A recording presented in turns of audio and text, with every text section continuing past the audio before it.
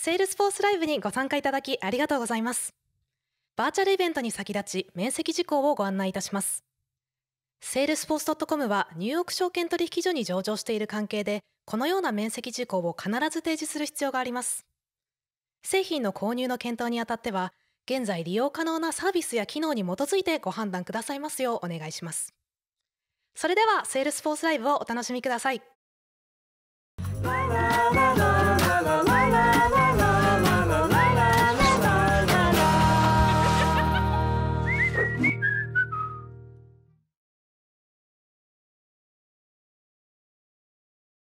こんにちは。ご参加ありがとうございます。オジル・フィリップです。 Salesforce で Principal Developer Advocate としてフランスで仕事をしています。本日は Salesforce プラットフォームの最新テクノロジーを活用したアプリ開発とデリバリーの高速化についてお話をします。私たち全員がコロナの影響を受けています。このためデジタル化の流れが加速しています。従来型のカスタマーエンゲージメントからつながったデジタル体験への移行が必要です。物理的訪問には接触追跡が必要となり私たちは銀行サービスも従来型でなくオンラインバンキングを利用するようになりました。小売店舗通院に関しても同様です。これらのサービスはすべてその中心にデジタル化に適応した顧客が存在します。デジタル体験を作るにはツールとテクノロジーが必要です。Salesforce プラットフォームはエンゲージメント体験を生み出すための様々なツールを提供します。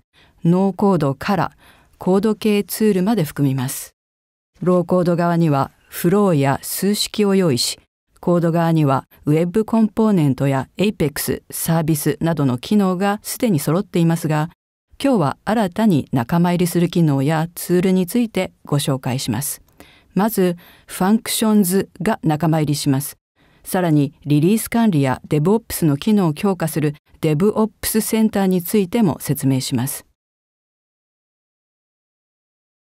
はじめに Salesforce Functions を使ってイノベーションとスケールを実現する方法を見ます。Salesforce Functions は Summer21 のリリースで提供します。私どもの信頼できるインフラ上で柔軟にアプリのビルドをする上で役立つものです。これまでにないスピード感でイノベーションを実現し、デジタル体験を提供する力となります。 Functions には3つの柱があります。まずは言語。Java や Node.js です。次に多様なツール。Visual Studio Code や Salesforce CLI など、ファンクションをデプロイするためのものです。もう一つはインテグレーション。ファンクションを呼び出す様々な機能です。Apex、Flow、Lightning Web コンポーネントなどです。まず、Salesforce 組織を使い概要から見ていきます。ファンクションを呼び出す多くの機能が備わっています。プラットフォームイベントと変更データキャプチャー、ウェブコンポーネント、 Flow と、Apex などです。プラットフォーム上のこれらの機能を使ってサーバーレスコンテナランタイム内のファンクションを実行します。Node.js や Java で作成したものです。こうしてカスタムコードをビルドできてこれらを好みのネイティブ言語で作成するサードパーティーライブラリーと呼びます。プラットフォーム上で実行するという制約なしでサードパーティーサービスを呼び出せます。それでは Functions の例をデモで見ていただきます。e カーのサンプルアプリケーションを使います。架空の電気自動車メーカー e カーがセールスとサービス業務に Salesforce を活用しています。このサンプルアプリはオープンソースですので他のアプリと同様に GitHub 上でチェックしてみてください。e カーの営業スタッフは日常業務の一環として既存顧客のリードをシミュレーションします。Salesforce Flow を実装したからです。フローによってスクリーンコンポーネントやレコードオペレーションを実行、ユーザーからのインプットを収集し、カーリースの計算をします。Apex アクションを呼び出し、カーリースを計算のファンクションを実行します。これらのパラメーターが Apex に送られます。次に、コードを使って Salesforce Functions を呼び出す場面を見ます。今、 Visual Studio Code 内でソースコードを保持している Salesforce DX プロダクトを見ています。こちらがリース計算サービスで呼び出し可能アクションが見えます。ロジックを見ますと JSON 形式のペイロードをシリアライズしてファンクションへの参照を呼び出します。こちらがファンクション名で Car Lease Calculator です。最後にこれをペイロードに渡しファンクションを起動します。ファンクションからの結果を読み出します。計算で使われた詳細も結果が保持しています。ここでファンクションのソースコードを見ます。エクスプローラーを下にスクロールしますと、ファンクションのディレクトリがあります。このディレクトリで様々なファンクションのソースコードを見つけられます。 Car Lease Calculator を見ます。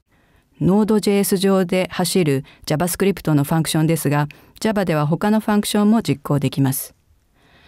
Index.js ファイルを持っていて、マイクロサービスのロジックが入っています。ファンクションはすべて同じシグネチャーを持ち、インプットとして3つのパラメータを取ります。1つ目の invoke、呼び出しイベントはファンクションのペイロードを保持します。次にコンテクスト。Salesforce 組織でファンクションを呼び出し、アクションを実行するために使います。ロガーは診断とステータスメッセージを記録します。ロジックを見ます。インポート済みの Lease Calculator クラスのインスタンスを作り、そこへファンクションペイロードを渡して、 calculate メソッドを呼び出します。 Lease Calculator ライブラリを使い計算されるこれらのフィールドを持つオブジェクトをリターンします。次に同じファンクションを別のインプリで見てみます。3つのファンクションパラメータを使いますが、今回はペイロード内で渡すのではなく、コンテクストを使い組織からデータを読み出します。イベントデータから車両 ID を読み出します。これはコンタクト ID に入っています。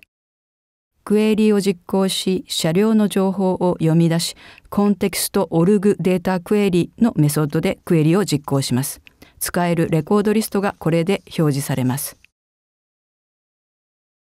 次にコンタクト ID を使ってコンタクトレコードを読み出すクエリをします。最後に車両オブジェクトとコンタクトオブジェクトを使い、 Lease Calculator ファンクションを呼び出し、リースの計算をします。これが Functions のパワーを示す例です。ここでは組織からデータを読み取りましたが、組織に書き出して Salesforce Functions 内でトランスアクションを制御することも可能です。それではプレゼンに戻ります。ご覧いただいたデモは Functions を活用し、Salesforce プラットフォームを拡張する方法でした。こうして柔軟にスケールを上げられます。つまり演算能力をアップさせつつ、Salesforce governor limit を迂回できます。また、Salesforce プラットフォームから離れなくても良いので、事前設定したセキュアなアクセスも担保されます。Salesforce デベロッパーではない人にも参加してもらいます。サードパーティーライブラリーや他の言語とも容易に連携できます。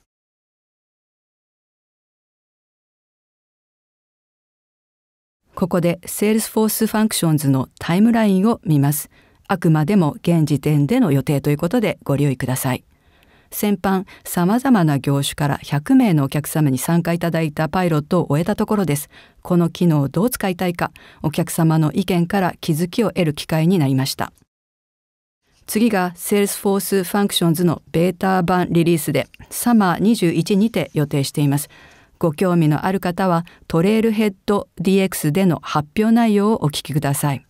最後に Functions の正式リリースは Winter22 を予定しています。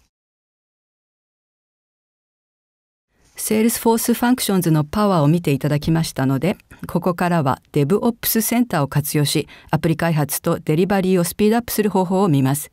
ビジネスニーズは常に変化していて、変化への対応にはアプリの高速なデリバリーが不可欠です。アプリ開発においてアジャイルなプロジェクト管理と DevOps が成功の鍵です。DevOps がソフトウェア業界に登場したのはだいぶ前のことですが、 Salesforce のエコシステムに取り入れられたのは比較的最近のことです。DevOps 導入で Salesforce ユーザーにとって課題となるのは非技術者にとってツールのハードルが高いことです。断絶された複数のツールを使う必要があるからです。この課題にどう対応すべきでしょうかそれは非技術者と技術者との溝に橋を架けることです。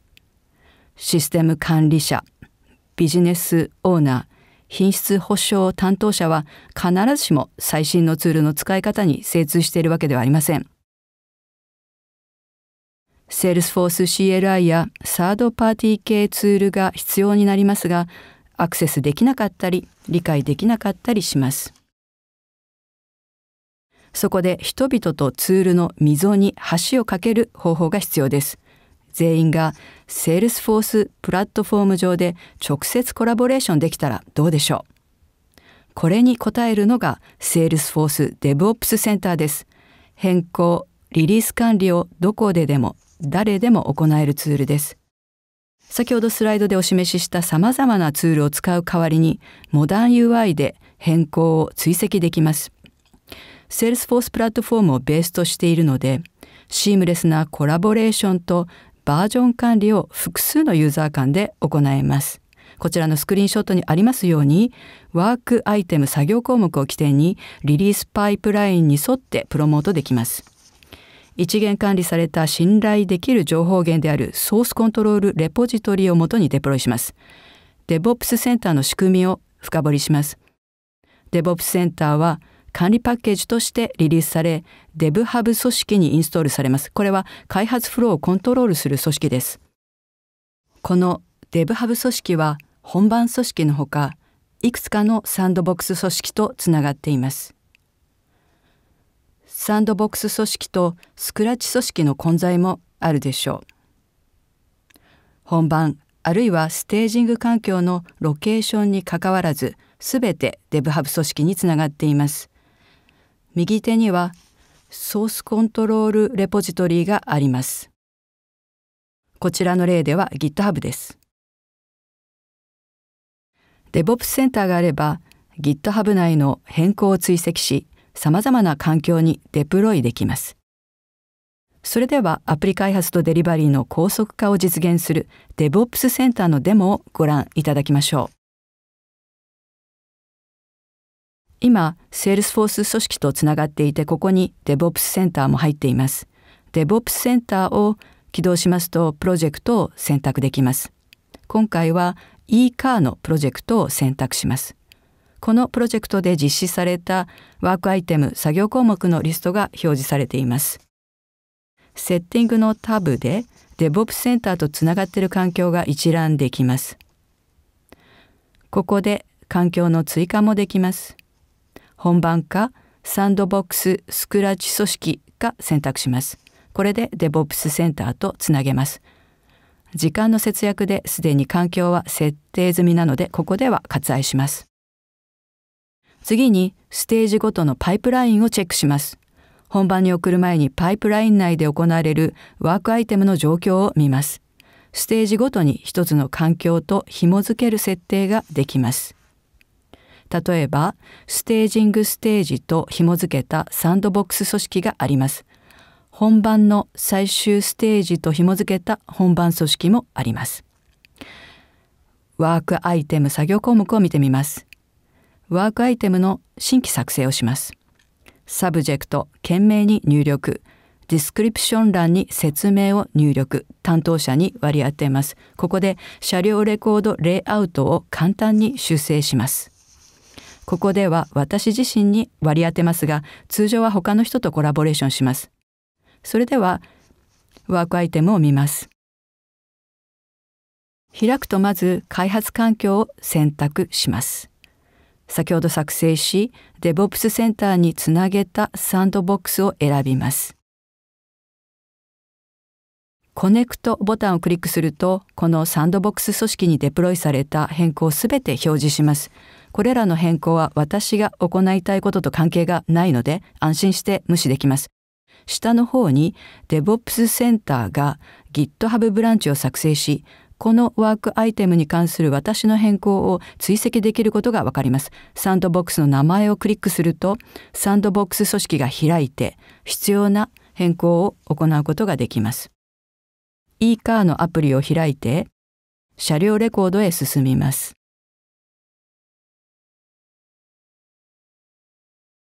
これが車両レコードです。現在すべてのレコードフィールドが一つのカラムに格納されていますので、これを変更します。エディットページを選び、ライトニングアップビルダーを開きます。動的フォームを使いたいので、情報を2つのカラムに変更する設定をします。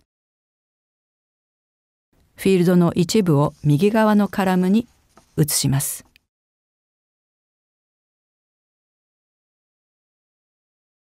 はい、完成です。良くなりました。変更がうまくできたので保存します。レコードページに戻り結果を確認します。良くなりました。サンドボックス組織で変更を行いました。DevOps センターに切り替えます。リストに今の変更がまだ入っていませんので、プルチェンジズボタンをクリックし、組織で行われた変更のメタデータを取りに行きます。さらに2行ほどリストに追加されていることがわかります。ただ、今回の変更は車両レコードページへのものですので、リスト上のこちらをクリックし、変更に関するコメントを付け加えます。フィールドを2つのカラムで表示に変更と入力します。スクリーンの下のコミットチェンジボタンをクリックすると、変更部分のメタデータが読み出され、ソースフォーマットに変換され GitHub にプッシュされます。コミットが無事完了しました。GitHub のブランチを開くと Compare and Pull Request ボタンをクリック。変更されたファイルが表示され、メタデータの変更部分が2つのカラム表示への変更を表現しています。DevOps センターへ戻ります。変更がうまくできたので、レビューを求めます。このデモでは、変更を自己承認します。通常は別の方にレビューと確認を依頼します。ここでは私がタスクを行い変更を自分で承認します。この段階でこのトグルを使い変更の承認をして承認済みにできます。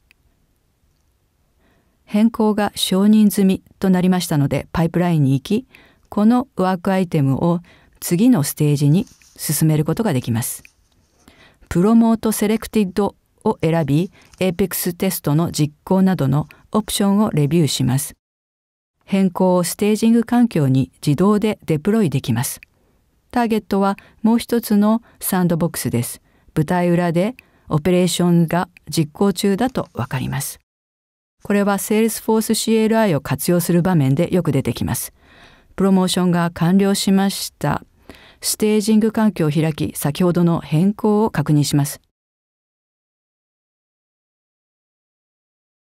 車両レコードを開き、適切な情報が表示されているか確認をします。最初のサンドボックスで設定した通りに2つのカラムでフィールドが表示されているのが確認できました。この時点でオペレーションを繰り返し、ステージングにあるエレメントを選び、先ほどと同じ方法で本番へとプロモートしていきます。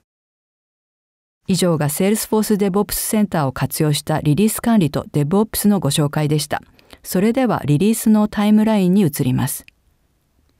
現在、クローズパイロット中です。ウィンター22の頃に正式リリースの予定ですが、プラットフォームリリースとは同期しません。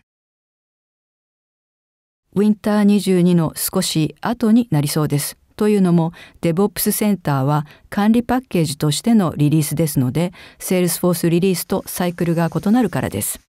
最新情報はトレイルブレイザーコミュニティグループこちらの URL で確認してください。DevOps センターが大好きな人たちとつながれます。最後に DevOps センターの長期的ビジョンをお話しします。2つのことに注目してください。現在の DevOps センターの早期バージョンでは GitHub のみ連携できますが、今後他のバージョン管理システムのサポートも拡充する予定です。さらに、サードパーティー製作業追跡ツールとの連携もロードマップに入っています。例えば、JIRA のようなツールともつなげて、Salesforce プラットフォーム以外の他のソースからでも作業項目を取り入れて作業できるようにするためです。これらはすべて現時点での予定ということでご留意ください。それでは本セッションのまとめに入ります。Salesforce Functions と DevOps センターの活用でアプリ開発とデリバリーを高速化できます。心躍る新機能が今後も次々登場します。トレイルブレイザーコミュニティグループからの発信やトレイルヘッド DX やデベロッパーカンファレンスでの発表にもご注目ください。ご視聴いただきましてありがとうございました。